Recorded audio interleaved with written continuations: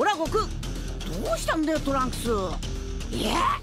未来で大人のあの子と一緒に戦っていた？それにブラックに対抗する人たちも大勢いるって？こりゃ早くブラックのやつをぶっ飛ばしに行かないとな。次回「ドラゴンボールスーパー時を超えた思いトランクスとマイ」絶対見てくれよな。ドラゴンボールスーパーはバンダイとご覧のスポンサーの提供でお送りしました。